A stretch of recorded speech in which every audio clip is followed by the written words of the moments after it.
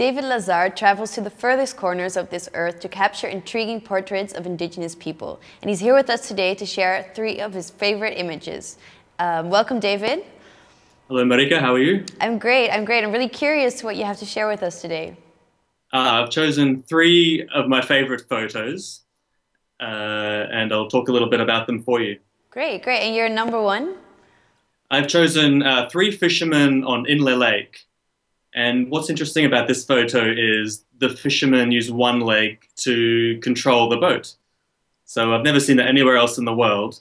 Um, so I think it makes very, very interesting subject matter. And how did you get them so neatly arranged in one line?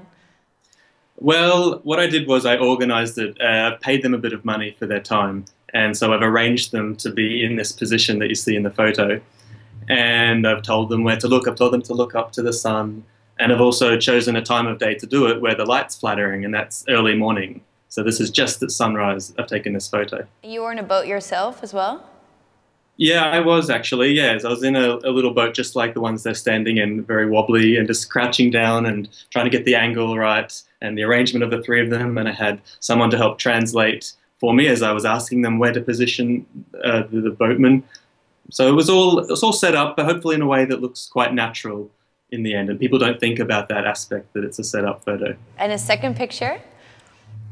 I was in uh, Kenya and I went to the Masai Mara and I uh, visited the Masai tribes people. And so once again, I also I had a meeting with the village chief and I asked if I could take a group of Masai people in a safari vehicle around the landscape and take some photos of them. Once again, arranged as, as I envisioned the picture in my mind.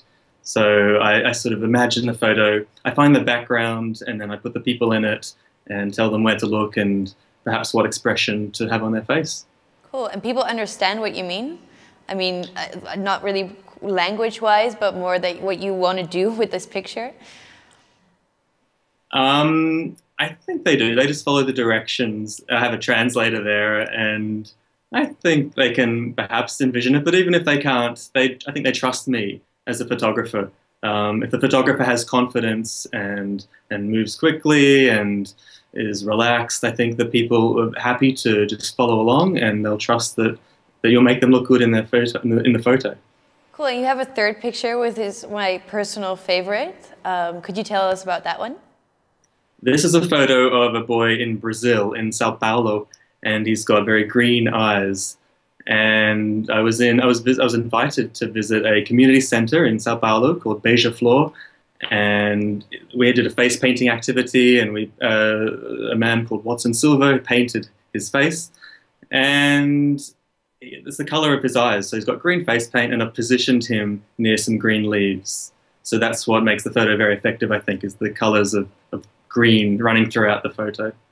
Cool. Thank you, David, for joining us today. And if you guys at home want to learn more about culture photography and how David works, uh, make sure to read the article below.